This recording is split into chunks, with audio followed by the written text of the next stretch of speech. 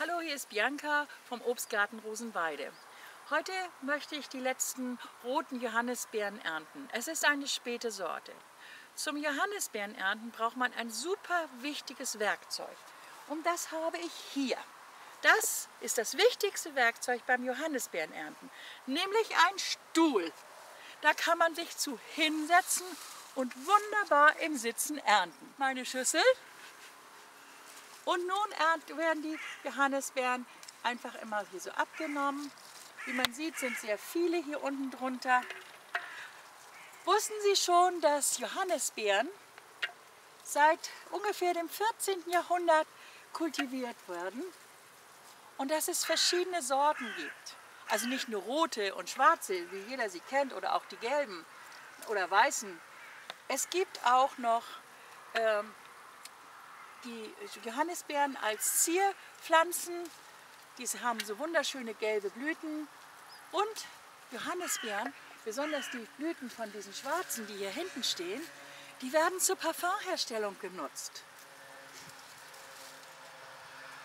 Ja, das ist so das Wichtigste, was man von den Johannisbeeren so weiß.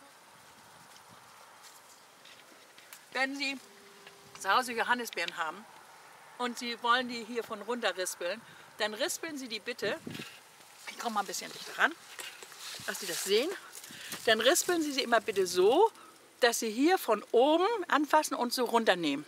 Dann kriegen Sie die Früchte ohne kleine Äste dran und die bleiben hier dran. Wenn Sie die andersrum halten, wenn Sie sie mal so halten zum Runterrispeln, dann passiert es, dann sehen Sie das, dann bleiben hier die kleinen Ästchen dran. Das ist natürlich blöd.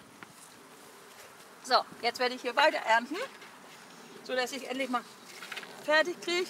Mal sehen, was ich daraus koche. Marmelade oder Likör. Vielleicht esse ich sie auch so roh, selber, ganz und gar. So, bis ich das hier geerntet habe, das dauert natürlich noch eine ganze Zeit. So, ich habe jetzt schon eine ganze Menge Johannisbeeren gepflückt und ja, eigentlich das Schönste am Johannisbeerenpflücken ist das hier. Mmh, so lecker. Wie wir sehen, man muss die Äste immer ein bisschen hochheben, und dann sieht man, wie viel da drin hängt. Ja? Und das macht richtig Spaß, die denn zu ernten. Wenn man jetzt einfach immer wieder diese Dinger hier so hoch ranmacht und runternimmt, dann hat man ganz viele, ja, und manchmal rutscht das auch so, dann hat man nur die einzelnen. Die muss man natürlich immer essen.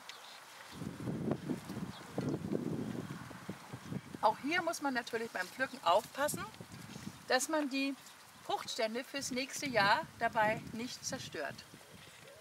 Wussten Sie eigentlich schon, dass die Johannisbeeren zu der Gattung Stachelbeeren gehören? Ja, Sie haben richtig gehört. Die Johannisbeeren und die Stachelbeeren gehören in die gleiche Gattung.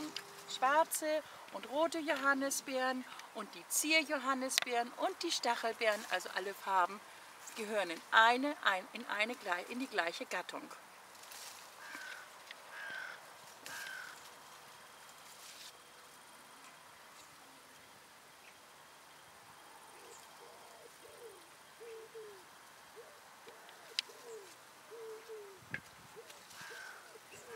Hier sind auch noch so viele. Gut, dass wir den Stuhl haben. Ich muss jetzt mal ein bisschen rum, rumrutschen. Beim Rumrutschen muss ich natürlich aufpassen, dass ich nicht hinfalle. Lieber aufstehen und, der Stuhl, und den Stuhl da zur Seite stellen. Und dann kann ich hierher. Sonst falle ich hier noch um. Das ist mir übrigens schon ein paar Mal passiert.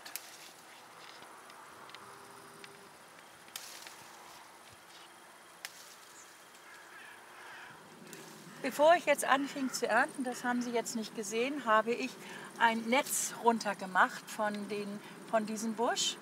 Denn ohne Netz hätte ich gar nichts zu ernten. Die Vögel lieben diese roten Johannisbeeren und sind ständig dabei.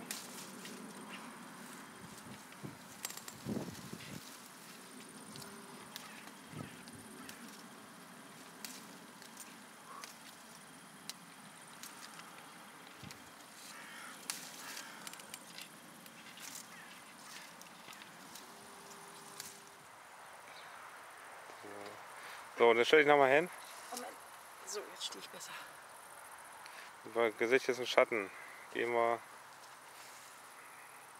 Mach ein bisschen mehr nach da. Also so ein Schatten. Besser? Ja, und dann kommt er schon weiter her. Moment. So, Ja. Hm? Ja, so. So, nun habe ich diesen kleinen Busch abgeerntet und da ist doch schon eine gute ansehnliche Menge bei rausgekommen. Ich lasse auch immer noch ein paar Beeren hier drin hängen. Ich ernte die nie so ratzefatz leer. Ich lasse den Vögeln auch noch mal ein bisschen was. Und das war es wieder aus dem Obstgarten Rosenweide. Ich bedanke mich und bitte abonniert meinen Kanal.